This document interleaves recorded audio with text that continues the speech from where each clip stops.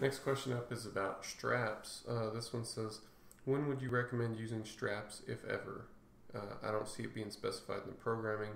I don't use straps when doing regular deadlifts, but I did use them when my hands felt like they were getting chewed up doing sets of five block pulls, uh, which usually are 5 to 10% heavier than my regular deadlifts.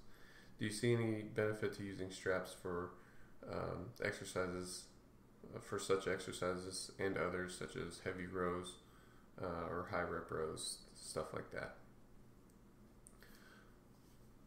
You're right. I don't specify the use of straps in, in this program. Um, and you're also right. In general, I recommend not using them. Uh, but it sounds like you've got the general pattern of it down. If the bar is just chewing up your hands and you need a break from that, then yeah, by all means, use some straps. Uh, it would be better to do the work um, with straps than to not do the work.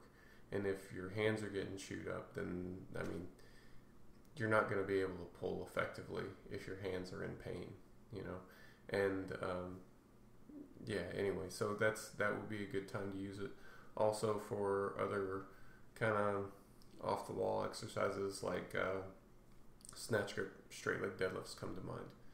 I do like to program those. Uh, they show up in a lot of programs.